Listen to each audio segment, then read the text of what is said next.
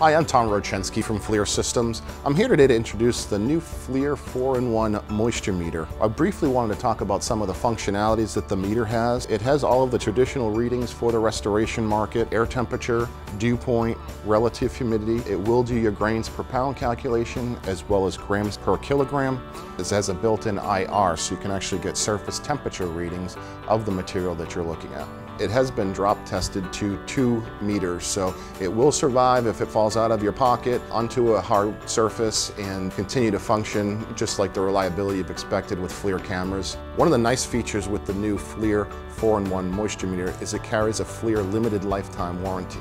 Um, and it also does your traditional moisture readings as well. Uh, utilizes the jack on the bottom to get your pin type readings in wood and building materials.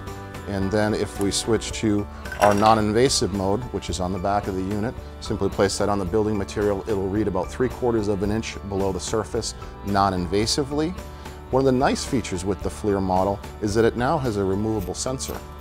So we can actually take the sensor out if it's going out of calibration and we can replace the sensor right in the field. It's as simply as popping it off, taking a new sensor that we know is calibrated, inserting it back onto the meter and screwing it back down. The advantage with this is this is not going back to the factory for service. It's not a delay in your workday to try and manipulate data readings. We can actually take all this readings um, right in the field.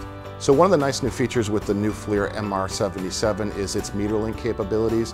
Uh, it allows you to connect via Bluetooth to our E-Series and higher cameras as well as our new Android app.